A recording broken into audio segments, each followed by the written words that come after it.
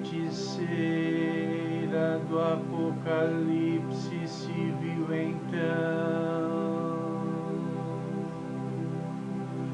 no meio de uma caverna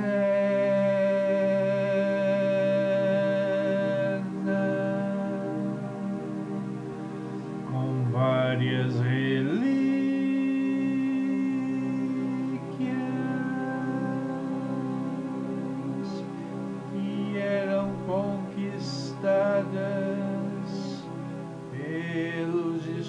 exploradores vindos de outros continentes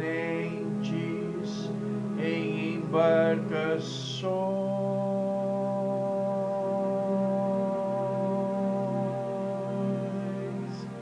E aeronaves gigantes que traziam exércitos para espalhar